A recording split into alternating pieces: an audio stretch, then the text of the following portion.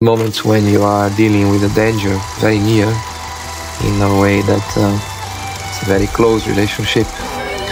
Uh, it's attractive Why go on? because I need it. Just love racing. I just love the challenge, and that's what keeps me going.